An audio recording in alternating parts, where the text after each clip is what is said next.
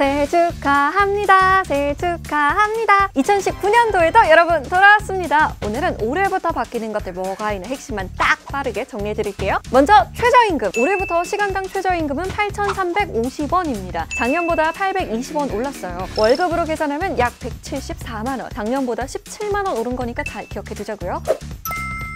취업 준비생들을 대상으로 나라에서 청년 구직 활동 지원금이 나옵니다. 월 50만 원씩 최대 6개월까지 지원해 주는데요. 만 18세에서 34세까지 학교 졸업한 지 2년 이내인 미취업자를 대상으로 하고 일정한 소득 기준을 충족해야 된대요. 3월부터 접수 시작하니까 취준생들 신청 보고 나라에서 해주는 공짜 건강검진을 더 많은 청년들이 받게 됐습니다. 원래 20, 30대는 직장인이나 세대주여야만 가능했는데요. 이제는 700만 명이 넘는 청년들이 혜택을 받게 된 겁니다. 가까운 병원에서 기초검사부터 만성질환, 우울증 검사도 할 수 있는데요. 내가 대상자인지 아닌지는 이 사이트에서 확인해보세요.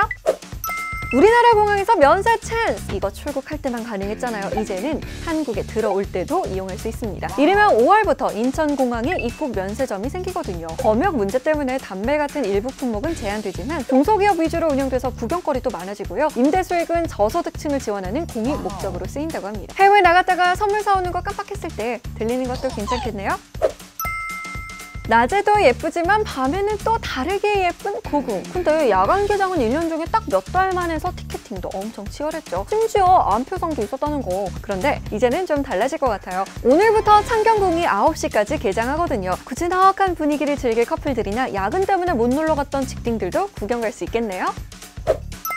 자, 댕댕이 견주님들 주목! 올 3월부터 반려견 산책시킬 때 목줄 꼭 채워야 합니다. 맹견으로 분류된 개들은 입막에도 꼭 써야 하고요. 이걸 지키지 않아서 반려견이 사람을 다치게 할 경우에 처벌 규정도 새로 생기거든요. 맹견 견주들은 1년에 3시간 안전교육도 받아야 되는데 어기면 과태료가 300만 원입니다. 최근 반려견 관련 사고가 많았던 만큼 관리를 소홀히 했을 때나 다른 사람을 다치게 했을 때 처벌이 강화된 거예요. 나와 다른 사람 모두 안전하게 댕댕이 산책시킬 수 있으면 좋겠네요. 사실 이거 말고도 바뀌는 거 꽤 많은데요. 못 담은 건 댓글로 달아놓을게요. 소중한 일사이프 구독자 여러분, 올해는 더 멋진 일만 일어나길 바랄게요. 새해 복 많이 받으세요.